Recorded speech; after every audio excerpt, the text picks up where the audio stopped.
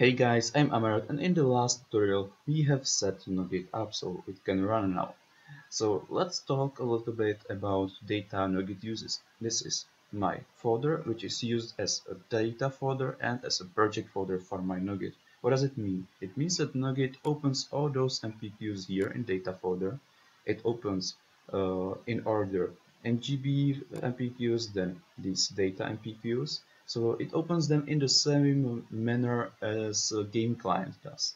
Then it takes a look into its projects folder, which is here again, this is the same folder in my case, and it opens also DB files client folder and World folder. What does it mean? It means that if you have outdated, if you have any custom MPQs here, they are opened as well, obviously. But if you have any outdated data in DB files client or in World folders, Noggit will open that outdated data instead of opening data from uh, your data folder.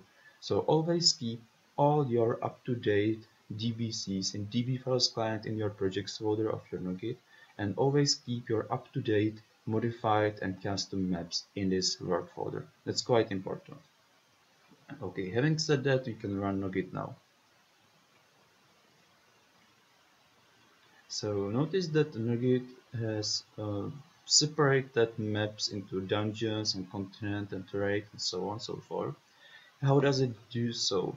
Well, it simply opens uh, mapdbc. So here we've got our mapdbc.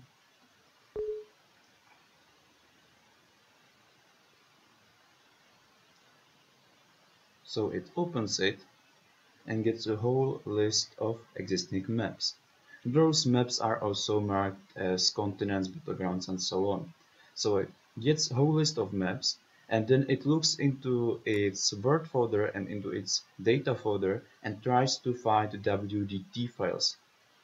Let's just go to log in Noggit and as you can see here some maps don't have WDT file, it couldn't be found. So it has opened only maps which are in mapdbc and which have WDT file and which uh, have WDT file which contains any ADTs to be accurate. So now it has filtered those maps and I've got only maps I can open and edit in Noggit basically. So let's open any of them. Let's for example open Eastern Kingdoms and go there. Just a small side note, this Noggit is uh, the newest beta version I have at my disposal. So it isn't a final version, it isn't still released yet, it can change.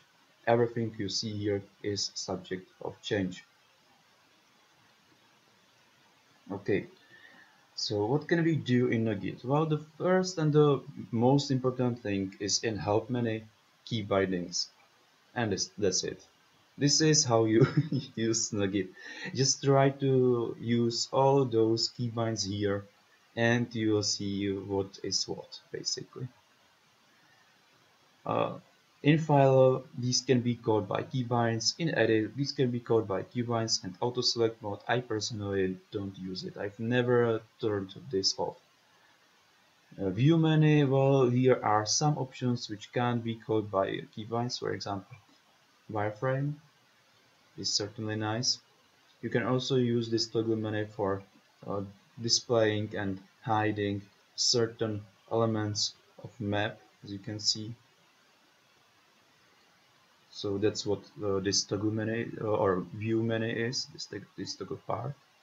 And in assist menu we've got huge variety of quite nice features. For example create water whole ADT clear water from ADT clear duplicate models uh, clear models or uh, clear textures completely and so on. This can be quite useful sometimes. And uh, here we've got our two our tools. So we can rise and water. Terrain for example we can flatten it we can blur it we can paint textures.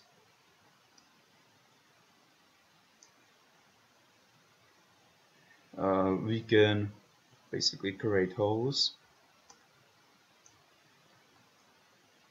like this holes are being used for cave entrances for example. We can change area ID so we can pick some area from somewhere and paint it here or we can pick our area from here. Or we can just paint parent area or remove our area. So let's for example put Westfall here or wetlands here sorry and so on. So that's our ID paint. We've got impossible flag. Impossible flag is for making chunks impossible so this will be this will behave as one invisible wall basically. We've got water edit so we can for example change water settings a little bit.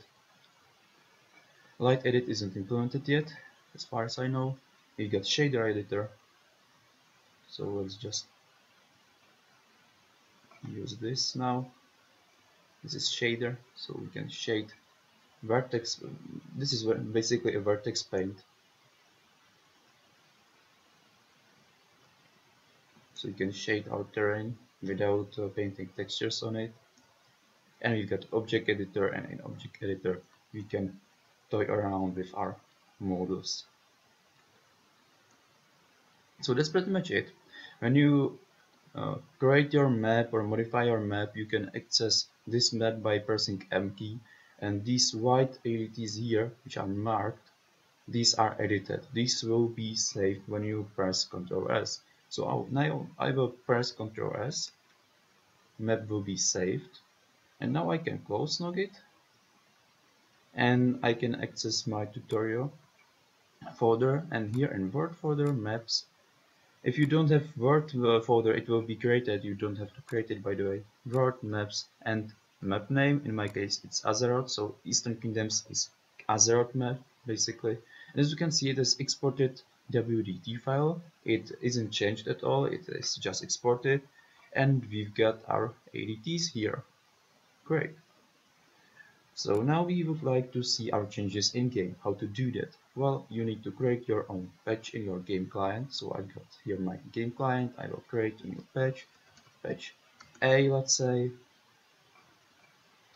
And now you need just to insert your World folder into it. Or you can just create a World maps folder in it and insert just one map you want to have there. You don't have to always insert all maps you got obviously or even all ADTs you can insert only some ADTs if uh, well for example now my Noggit has changed three ADTs and let's let's say that I want to rewrite some of those changes well, you don't have to use all of those ADTs. You can just delete one of those ADTs. Let's say this one. Let's delete it. Or let's delete it from here. And now all changes on that ADT were basically reverted because now it will use a Blizz-like original version of that ADT because I have deleted it from my patch. So this is how to add some modified ADTs to my client. That's how to revert them to Blizz-like version. Now does it work? Well, let's open game client and maybe I will open Noggit again just to show you one thing. One last thing I would like to show you in Noggit.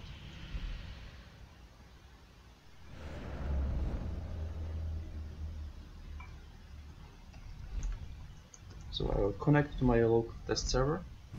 It's up and running for now.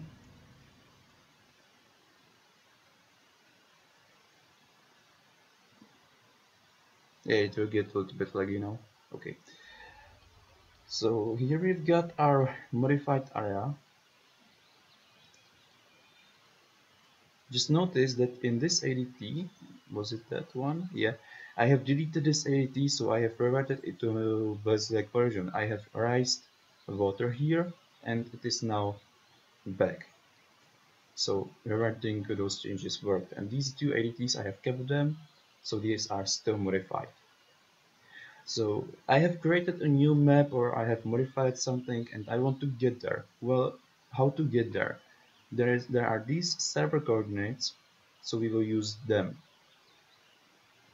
So dot go xyz and minus 10,900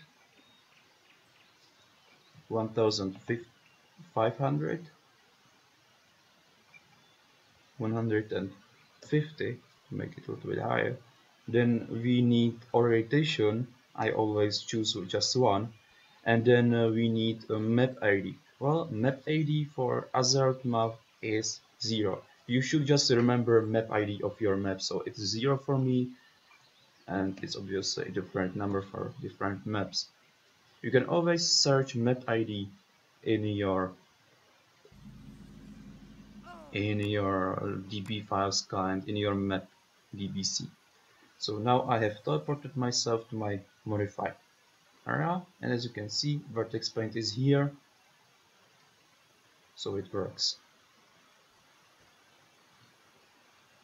and that's pretty much it. This is the way of getting into game and uh, seeing finally your changes so on. Here's our flip house. Yeah so it worked fine. And here should be somewhere invisible wall. I don't know where if I put it. Yeah here it is our invisible wall. So yeah it worked. So this is the way of running Noggit modifying areas and getting in game and seeing your changes. I hope this was useful for you guys. Happy modding